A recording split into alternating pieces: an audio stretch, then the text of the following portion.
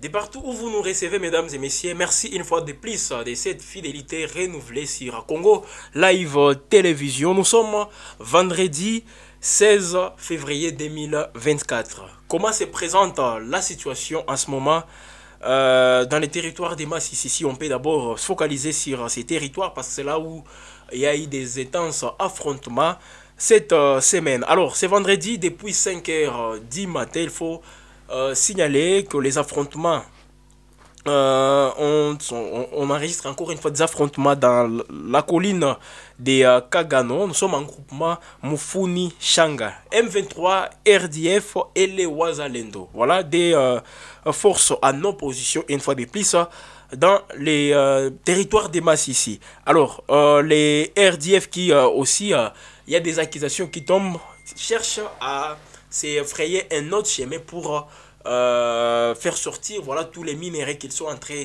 de euh, piller ici en République démocratique du Congo. Les zones euh, qu'ils occupent, quand on voit beaucoup plus la cité minière de Rubaya, voilà, donc il y a un chemin. Hein, qui un tronçon plutôt que les RDF sont en train de tracer pour arriver aussi à faire évacuer les minéraux qui, qui, qui qu'il euh, essaie d'exploiter à Rutshuru, Massissi et partout là où ils sont aujourd'hui en République démocratique du Congo. Ce sont là les alertes qui tombent et ce sont des sources sur place qui euh, sont en train bien sûr de euh, dénoncer cela. Alors en gros, il faut tout de même rappeler que la situation aujourd'hui, on ne sent pas une forte opposition comme c'est fait le cas il y a de cela quelques jours parce qu'avec ces, ces, ces affrontements, c'est d'ailleurs ce qui aujourd'hui inquiète l'opinion nationale. Les faits pour les FRDC de laisser l'État encore une fois à l'ennemi de s'organiser pour euh, venir encore une fois attaquer les positions des FRDC ou soit c'est euh, euh, rapprocher hein, encore une fois de la cité des Saké, mais le fait de les laisser encore une fois s'organiser, c'est une menace que nous sommes en train nous-mêmes de, de, laisser planer. Alors si il est encore une fois très important, avec des communs accords toujours avec ces jeunes patriotes Ouazalendo, de tout faire pour euh, poursuivre avec les offensives. Je ne parle pas de cette euh, attitude défensive, des offensives contre l'ennemi. Donc les repousser les, un tout petit peu loin et voir si on peut euh, encore une fois les mettre en difficulté et qu'ils aient même du mal de s'organiser, de se ravitailler parce qu'avec les portes d'entrée euh, qu'il a aujourd'hui, c'est facile encore une fois de euh, renforcer ses positions dans les territoires des Massissi. Donc nous devons encore une fois renforcer notre euh, offensive sur l'ennemi et voir comment est-ce que nous pouvons l'éloigner. Alors à Chacha, on signale aussi les pillages hein, du centre de santé des Chacha par les rebelles du M23 qui auraient même emporté tous les nécessaires de cette structure sanitaire. Nous sommes à Chacha. Voilà encore une fois cet esprit d'humanisme qui manque euh, aux agresseurs aujourd'hui de la République démocratique du Congo. RDF, M23 et même les UPDF ougandais. Je crois qu'on va aussi évoquer les communiqués de l'armée ougandaise, on va en parler. Mais au-delà de ça, quand les, les, les rebelles hein, arrivent facilement à piller, hein, même les, les, nécessaires qu'on peut retrouver dans une structure, eh bien peut-être c'est aussi pour euh, essayer un peu de, de prendre en charge Hein, dans les cadres sanitaires, les euh, blessés, tout ça, parce qu'ils sont en train d'enregistrer des blessés euh, aussi. Alors peut-être c'est une façon de s'assurer d'une prise en charge aussi efficace de les euh, blessés, mais en même temps, quand c'est une structure sanitaire qui est aussi euh, concerné par ces pillages, allez-y comprendre quel est l'avenir ou disons la suite qu'on peut réserver à une sanitaire, surtout qui est euh, là pour les services de la communauté.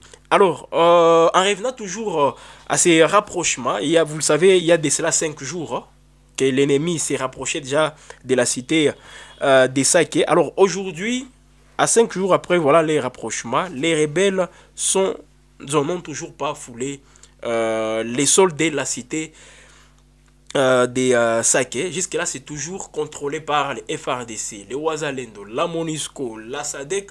Voilà, toutes euh, ces forces sont en train aujourd'hui de s'assurer d'une bonne protection pour la cité des Saké. Et comme vous pouvez le constater déjà, quelques habitants commencent petit à petit regagner leur domicile, non seulement regagner leur domicile, et ce qui est aussi important, ils regagnent leur domicile avec une autre détermination.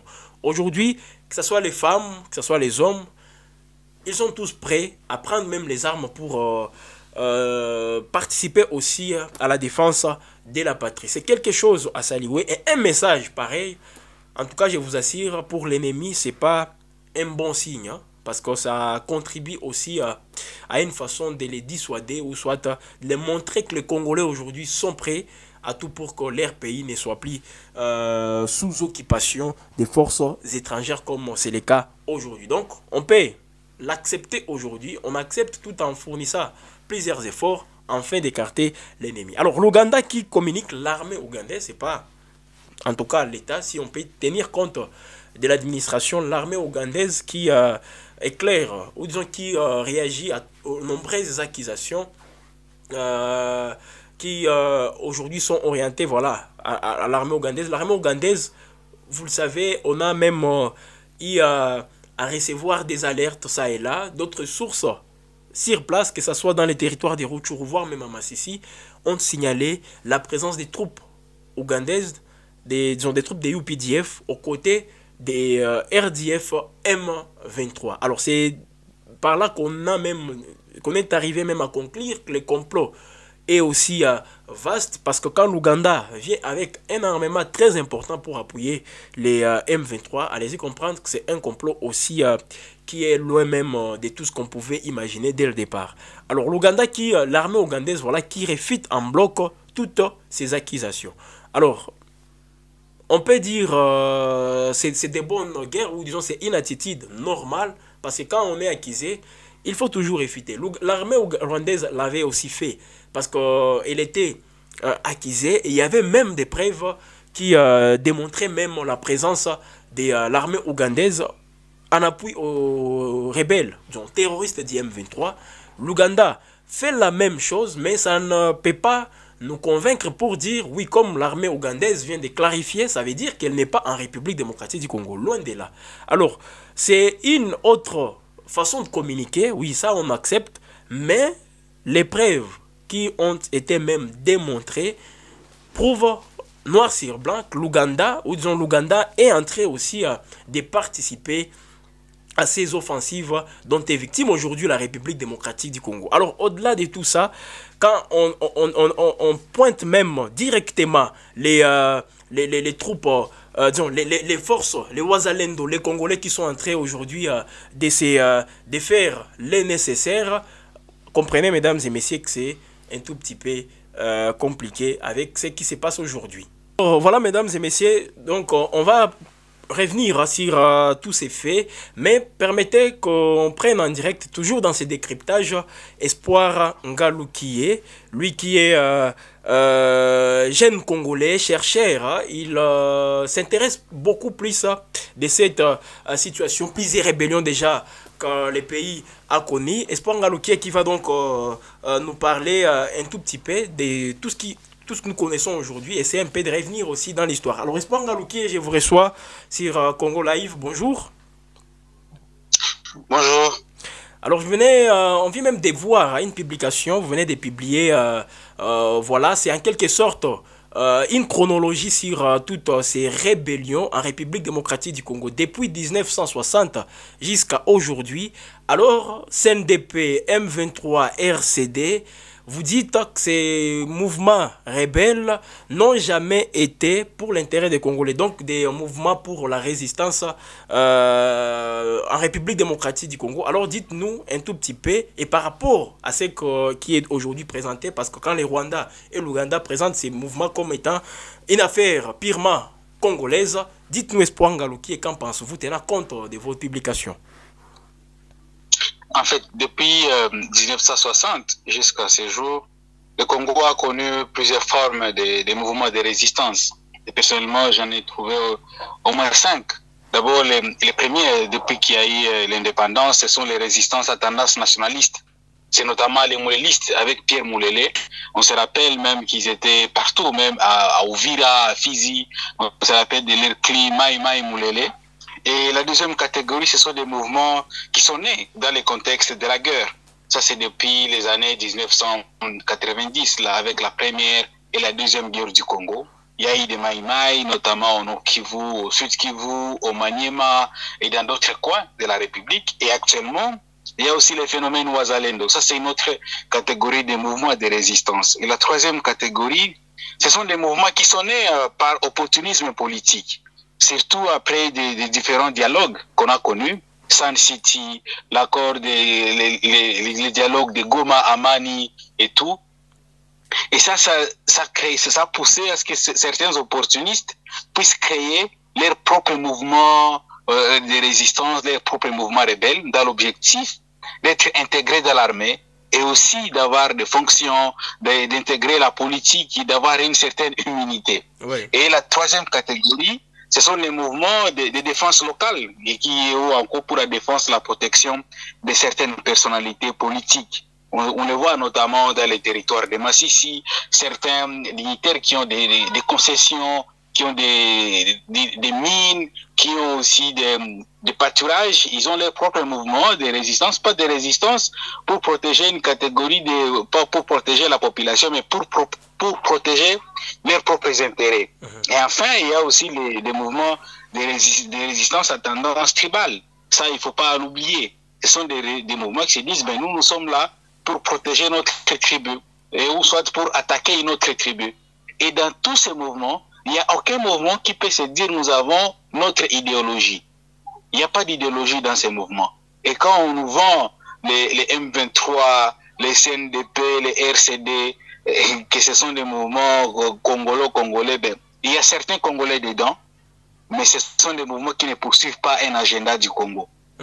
Alors, selon vous, euh, quelle est leur idéologie ou soit euh, l'agenda qu'ils sont en train de poursuivre aujourd'hui Tenant compte de tout ce que nous observons euh, actuellement. En fait, et, et- et- et c'est ça ma, ma, ma question, en fait.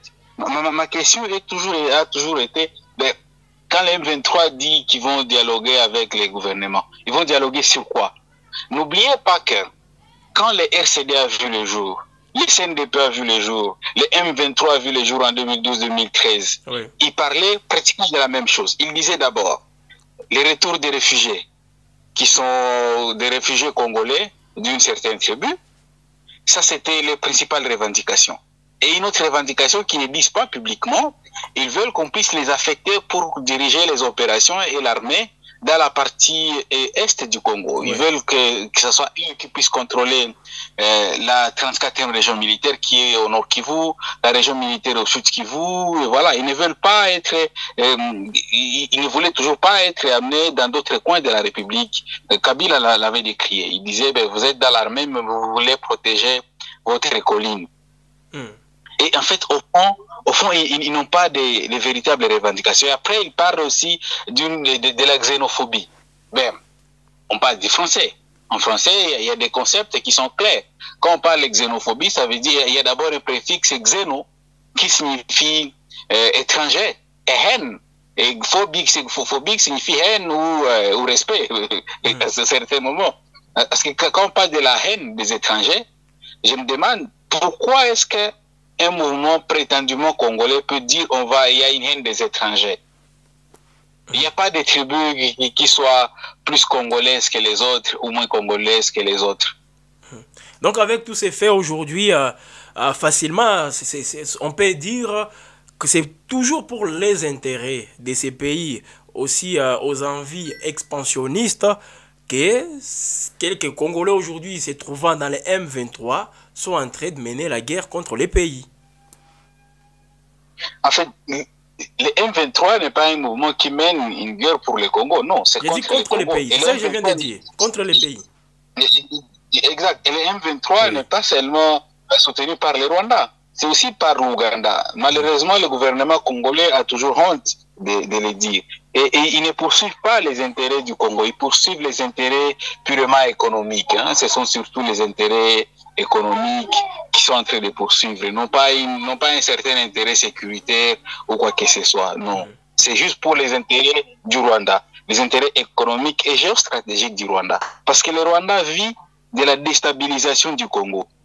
L'Ouganda vit également euh, avec les, les intérêts économiques de l'Ouganda. On voit, on voit l'or et tout. Et ils, préfèrent toujours que ça vienne gratuitement du Congo, que ça vienne, que ça coûte moins cher quand ça vient du Congo. Et ça, ça, ils en profitent pour s'enrichir dans leur propre pays au détriment de notre pays. Et malheureusement, il y a une certaine complicité des Congolais, pas seulement ceux qui sont dans ces groupes armés, il y a aussi ceux-là qui sont des infiltrés dans les, dans les institutions congolaises, qui donnent les informations, qui donnent, et, n'oublions pas aussi l'aspect de, de la corruption. Parce que le Congo n'est pas le seul pays au monde qui a des minéraux, mais c'est le seul pays qui est, qui est énormément attaqué, agressé. Pourquoi? Parce qu'il y a un problème de leadership au sommet du pays. Et ça, ça fait en sorte qu'il y ait, un, l'impunité, ça fait en sorte qu'il y ait euh, gratification des, des, rebelles. On voit actuellement dans le gouvernement du Congo, il y a des anciens rebelles qui sont dans le gouvernement. Il y a ceux qui étaient dans la rébellion soutenus par le Rwanda, d'autres qui étaient dans la rébellion soutenus par, par, l'Ouganda. On voit aujourd'hui, par exemple, les ministres de la Défense, Jean-Pierre Bemba, qui était de la rébellion du MLC, soutenu par l'Ouganda. On voit les ministres de la coopération régionale, qui et aussi les ministres de l'industrie. Les deux étaient de la rébellion du RCD-KML, qui était soutenu également par l'Ouganda. Je ne parlais pas de ceux qui étaient dans, la rébellion du RCD, soutenu par le Rwanda. Alors, euh, oui. Voilà, hein? mais, merci Espoir Ngalouké surtout de nous avoir partagé cette euh, réflexion. Et je crois que euh, les, euh, nos internautes vont en tout cas apprécier cela en revenant surtout dans l'histoire. Hein. Merci infiniment Espoir Ngalouké.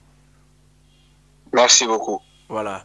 Alors, c'était là Espoir Ngalouké, mesdames et messieurs, lui qui est chercheur, hein, basé ici en ville de Goma activiste. Alors, il vient de faire cette réflexion par rapport à tout ce que nous connaissons aujourd'hui. Si on peut revenir un tout petit peu en arrière, c'est vrai, vous allez comprendre que c'est presque euh, la même équipe, mais on a toujours tendance à vouloir changer de Varese, mais ce sont les mêmes, les mêmes acteurs, hein, et avec les mêmes, euh, euh, les mêmes revendications, et toujours appuyés par les mêmes pays, depuis qu'ils ont commencé.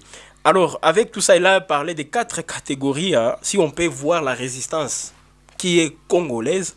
Là, on peut tout simplement nous focaliser sur les quatre catégories qu'il vient d'évoquer. Mais aller au-delà, c'est euh, autre chose. Ça n'a rien à voir avec la résistance euh, qui a toujours caractérisé les Congolais, surtout avec l'expérience, parce qu'on peut pas dire aujourd'hui nous avons une expérience aussi considérable par rapport à la résistance. Depuis toutes ces années, les gens résistent, euh, que ce soit aux rébellions euh, venant je ne sais pas d'où, euh, que ce soit des, des attitudes politiciennes hein, étrangères. Nous essayons peut de résister toujours à tout ça. Et voilà, c'est pas aujourd'hui qu'on va baisser les bras ou disons qu'on va dire nous ne pouvons plus, nous n'avons plus assez de moyens pour résister. Je ne pense pas. Voilà pourquoi les Congolais sont toujours déterminés pour défendre leur pays. Alors au-delà de tout ça, si on peut aussi aborder hein, l'attitude de l'armée congolaise. Peut-être on va terminer par là. Je parlais même le fait de laisser les rebelles euh, réorganiser, on les disait, autour de ça, que ça va leur permettre encore une fois de venir avec euh, une autre force et ça peut jouer en notre défaveur. Donc il faut à tout prix que nous ne puissions pas permettre à l'ennemi de trouver le temps de s'organiser et aller euh, mettre un tout petit peu, très, loin d'ailleurs, pour que la menace soit beaucoup plus écarté. Notre diplomatie aussi, la diplomatie congolaise, hein, beaucoup de gens disent qu'elle est mal orientée, notre diplomatie. Alors, c'est, il est grand temps aujourd'hui d'avoir une diplomatie claire. Parce qu'aujourd'hui, c'est vrai, on peut avoir des multiples partenaires, ça et là, dans le cadre de la défense. Mais euh, il faut se poser de question, quels sont ces, partenaires aujourd'hui qui euh, agissent avec sincérité dans tout ce que nous sommes en train de connaître aujourd'hui? Parce que ça ne sert à rien aujourd'hui de dire nous, nous avons nous, des collaborations avec les États-Unis, des accords militaires avec les États-Unis pour euh, que la paix soit effective dans l'Est du pays. Et en même temps, dire que ce sont les mêmes euh, Américains, les États-Unis qui sont aujourd'hui derrière l'ennemi. Là, ça veut dire que notre diplomatie est en train de balbutier. En même temps, on est avec les Français, on est, je ne sais pas, avec les Russes, on est, voilà, beaucoup de, nations comme ça. Et ça sera un peu difficile que nous puissions, que les gens nous prennent au sérieux. Parce que nous n'avons pas une diplomatie aussi bien orientée. Et euh, ça fait à ce qu'aujourd'hui, euh, nous puissions nous retrouver nous-mêmes responsables devant les sorts que nous sommes en train de subir aujourd'hui. Alors, au-delà de tout ça, l'optimisme doit nous caractériser. C'est vrai, ça, ça, se passe aujourd'hui, on a les défis, on a beaucoup euh, des choses aujourd'hui qui ne sont pas euh, à, notre profit, mais il y a lieu aujourd'hui de garder ces mêmes, euh, d'être optimiste, disons, être optimiste et espérer voilà, que nous puissions aussi vaincre cette guerre. Ça, c'est une nécessité parce que nous ne sommes pas condamnés à connaître toutes ces atrocités. Non. C'est pas ça. Nous ne sommes pas condamnés euh, toutes ces années. C'est nous euh, qui serons toujours la victime. Tel pays vient, fait ce qu'il veut dans les pays. Et puis, ce sont les Congolais qui sont toujours entrés euh, d'en payer les prix. Alors, je crois que le moment va venir. Peut-être c'est maintenant hein, que nous puissions en finir parce que cette guerre, elle a trop duré. On disait qu'elle sera populaire. Aujourd'hui, elle est populaire. La population, elle est concernée. Hein. À un certain moment, elle se présente aussi comme une partie prenante à tout ce que nous connaissons aujourd'hui. Et alors, si une fois on dit trop c'est trop, et qu'on fasse tout aussi pour euh, mettre fin à tout ça. Alors, c'est par là qu'on va vous dire au revoir, mesdames et messieurs, tout en vous rappelant les numéros. Et c'est toujours un plaisir hein, quand vous nous écrivez, quand vous nous appelez pour nous demander euh, comment euh, les choses évoluent ici au pays. Alors, nous sommes toujours, je vous rappelle, au plus de 143 9 98 70 43 14 plus de 143 9 98 70 43 14 écrivez-nous et surtout euh, n'hésitez pas aussi de commenter euh, toutes nos publications, les vidéos, il y a les informations euh, à temps réel que vous recevez aussi sur Congo Live Télévision et quelques décryptages, une façon de vous faire encore une fois comprendre parce que vous le méritez. Hein, les Congolais surtout qui sont aujourd'hui euh, euh, dans la diaspora veulent comprendre qu'est-ce qui se passe justement dans leur pays. Et c'est pour nous aussi une façon de vous, de, vous servir, vous permettre, vous mettre plutôt au parfum de l'actualité ici au pays. Et je crois que c'est au plaisir des uns et des autres, surtout à nous aussi de vous savoir toujours nombreux quand vous nous regardez, quand vous commentez et surtout quand vous nous appelez pour nous demander comment ça évolue. En tout cas, n'hésitez pas toujours de le faire. Alors, on va se retrouver demain, ça sera samedi 17 euh, février 2024 sur Congo Live Télévision. Jenny Toali, j'étais les vôtres. Merci et bonne suite de nos programmes.